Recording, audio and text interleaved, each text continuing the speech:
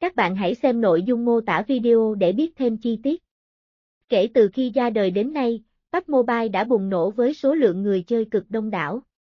Với tầm nhìn đưa khái niệm Battle Royale trở nên hot hơn và hướng đến như một bộ môn eSports, PUBG Mobile đang tiếp cận nhiều hơn đến người chơi với rất nhiều giải đấu lớn nhỏ.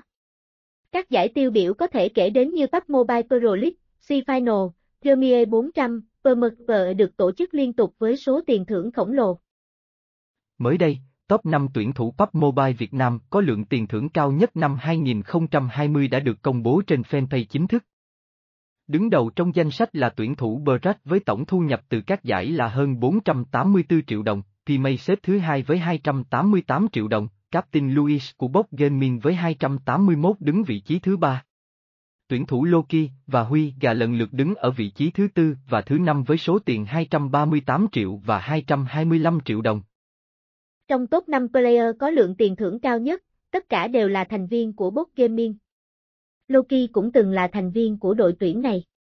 Tuy nhiên, hiện tại anh đang khoác màu áo của Infinity IQ. Năm chàng trai của Bot Gaming đều lọt top player có tiền thưởng cao nhất.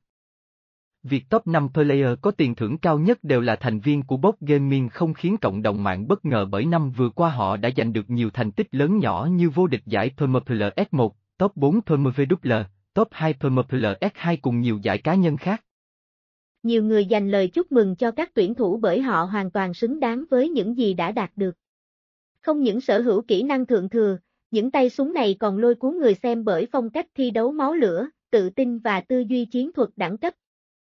Hiện tại, giải PMPL S3 đang dục dịch trở lại, các đội tuyển cũng dần hé lộ đội hình tham gia mùa giải, những gương mặt này chắc chắn sẽ cống hiến cho người xem những trận đấu kịch tính, mãn nhãn.